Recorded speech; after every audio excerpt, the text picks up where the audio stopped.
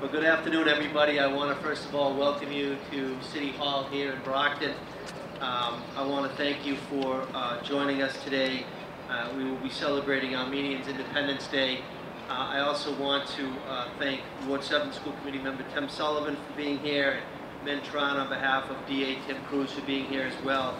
Before we begin, um, I, I need to recognize what happened and what is currently happening in, in Armenia right now.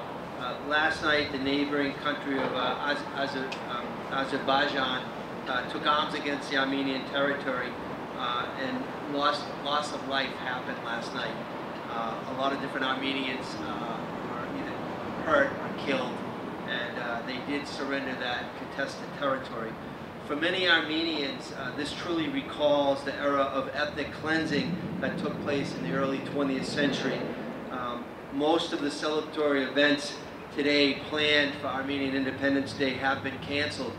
Uh, we spoke, uh, Suzanne McCormick in my office and, my spoke, uh, and myself spoke with John Marion, a proud Armenian American, and uh, he thought that we should be able to move forward today, but to uh, have a moment of silence and also when we raise the flag uh, in honor of the tensions and the happenings this very day in Armenia, again, we should go to half-mast and that's what we will do. So if we could just take a moment of silence right now for those that were lost and those that are hurt uh, in Armenia and in the territory.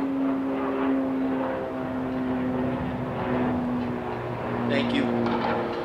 September 21st in the year 1991, the people of Armenia voted in a referendum to proclaim independence from the Soviet Union. Armenian independence was formalized on December 6th in connection with the dissolution of the USSR. Subsequently, Armenia joined the Commonwealth of Independent States, which is a, which is a regional intergovernmental organization uh, that was formed following the dissolution of the Soviet Union.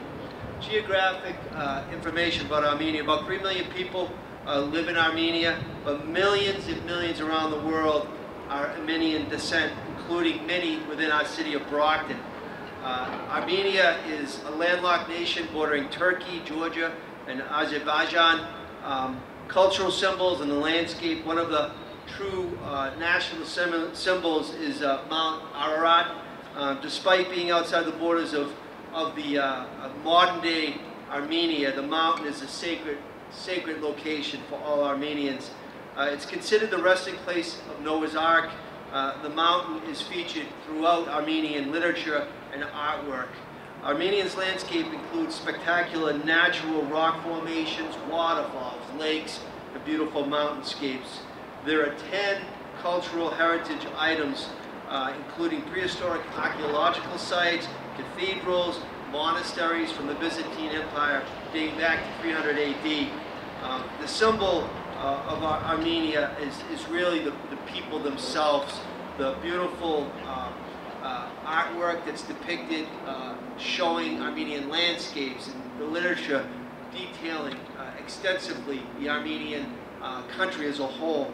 Um, you know, the people are warm and the traditions are very hospitable. Uh, family is, is really the key importance, specifically children, which are deemed light of the home. Armenians are known for their love of dancing at any event, and uh, we have witnessed that here in the City of Champions as well. Cuisine uh, is based upon nuts and herbs and spices and wheat and vegetables and fish and fruits. And again, the apricot is deemed the national fruit of Armenia.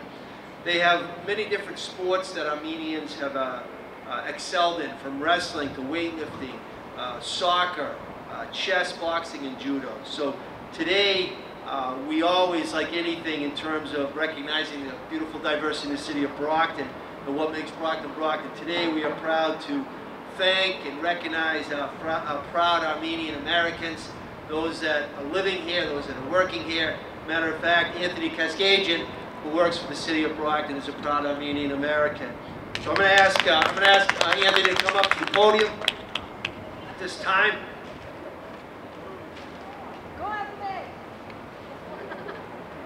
Want to thank you, Anthony, and your family. Uh, our, our, our, thoughts and prayers are with you and your family. Of course, uh, Anthony's grandfather, Charlie Tattaglia, uh, an icon in the city of Brock, a true Brocktonian, uh, recently passed, our thoughts and prayers go to you, Anthony. Official mayoral proclamation, whereas on September 21st, 1991, an act that demonstrated the resolute spirit that has characteri- characterized its culture throughout the ages, Armenia declared its independence from the Soviet Union. Whereas the Armenian people, in spite of suffering atrocities at the hands of the Ottoman Empire before, during, and after World War I, have maintained their cultural identity and traditions both inside Armenia and throughout the diaspora. Whereas Brockton's greatest strength is in our diverse population, including our residents and our business owners from Ar- Armenia who have enriched truly our city with the introduction of their customs, their food, and their cuisine and culture.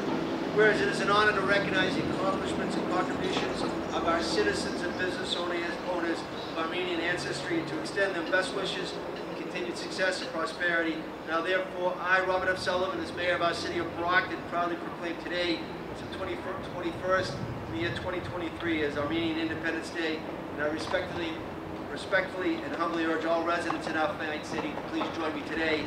And again, we do it in a solemn uh, state because of what happened last night and the loss of life in the territory. And our thoughts and prayers are with our Armenian brothers and friends. At this time, I'd like to give this to Anthony.